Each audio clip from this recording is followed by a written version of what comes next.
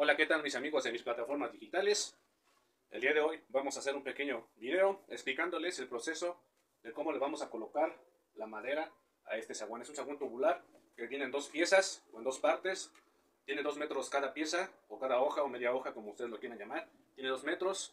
En total tiene 2.50 de largo, pero lo que nosotros le vamos a poner de madera tiene 1.60 de altura a 1.45 aproximadamente. Está, en, está un poquito en declive.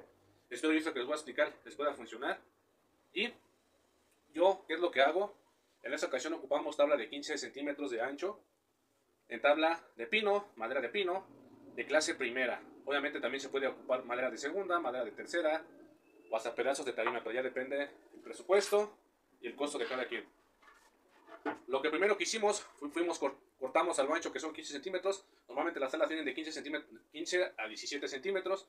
Ya vienen canteadas. Y lo que hice, vuelvo a repetir, la cortamos a 15 centímetros todas parejas. Empezamos a marcar y empezamos a hacer los cortes. Estas piezas son diferentes, pero empezamos a hacer los cortes para que nos trate de quedar lo más parejo posible en la parte de arriba. En la parte de abajo totalmente viene recto. ¿Qué fue lo que hicimos? Las tablas las pedí cepilladas a 2 centímetros exactos y le hicimos un saque para simular machimbre o lambrín, como ustedes lo quieran llamar. ¿Y qué fue lo que hice? Le hicimos el saque de un centímetro de fondo por un centímetro de ancho. ¿Esto para qué? Como todas las tablas vienen exactas a 2 centímetros, quizá, una, quizá hay una un poquito más gruesa, una más delgada, pero le hicimos el saque, así como se alcanza a ver.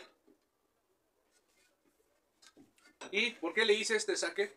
Normalmente la madera con el paso del tiempo tiende a contraerse, tiende a secarse un poquito más, tiende a resecarse y la madera trabaja. ¿Qué quiere decir?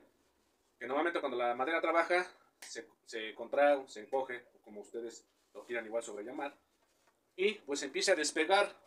No sé si algunos de ustedes han visto que los aguanes, cuando tienen madera, se ve la luz hacia adentro, se ve un poquito la luz. Y en este caso, para evitar que se vea de afuera hacia adentro, por eso le hicimos estos traslapes o estos saques. Para que se vea de esta forma. Para que si la madera se contrae, no se vea hacia adentro.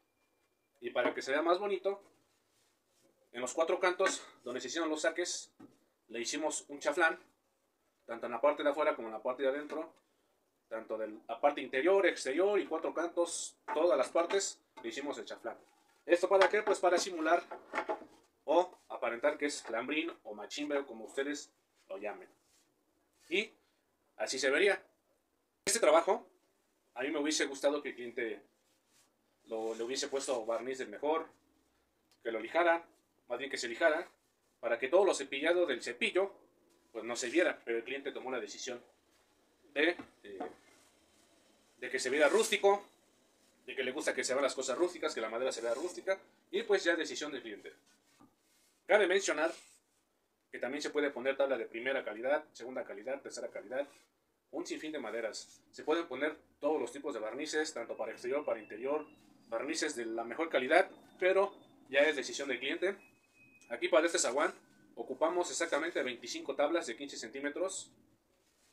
El presupuesto exacto no se los puedo decir porque varía, pero quiero hacerles la observación que es un poco elevado, pero se ve bonito. Voy a colocar todas las piezas para que ustedes vean cuál va a ser el resultado casi final y espero y esto les agrade. Prácticamente este sería el resultado final de cómo se verían nuestras tablas en un zaguán. Como lo ven, se alcanza a ver en la parte de arriba, pues se ve de más a menos. Hay que ponerle tornillos cabeza de coche. ¿Y cuál es el tornillo cabeza de coche? Es este, si se alcanza a ver. Esos son los tornillos cabeza de coche. Los vamos a fijar, los vamos a atornillar. Eso en un siguiente video se los voy a compartir. Pero lo que quería ver es que ustedes vean cómo se va a ver este zaguán. Todavía nos falta echarle más barniz. Apenas estamos entintando. Es una tinta nogal clásico de polifón al alcohol. Y si se alcanza a ver, ahí se ve el machimbre o lambrín, como ustedes lo quieran llamar. También se puede hacer más pequeños las tiras de la tabla, se pueden hacer hasta de 10, hasta de 5, pero ya es cuestión del cliente que así tomó la decisión. Y ahí como lo ven. Y les digo, cuando en un futuro la madera tiende a contraerse, pues empiezan a coger la madera y se empieza a ver. Si no se le hace ese traslape como el que les mencionaba hace rato, se va a ver hacia adentro y pues lo que quiere el cliente es que no se vea hacia adentro. Esto les puede servir a ustedes. Les vuelvo a repetir, son formas muy distintas de trabajar, son formas muy distintas de hacer las cosas. Y como todo, tenemos a muchos supervisores que dicen que está bien, que está mal, pero es parte de. En un siguiente video les voy a repetir, vamos a hacer el procedimiento de esto. Y pues la finalidad es que ustedes vean cómo queda el machimbre o lambrín, en pocas palabras. A donde quiera que ustedes se encuentren, les mando un saludo, cuídense mucho, más adelante les comparto otro video. No olviden de seguirme, cuídense mucho.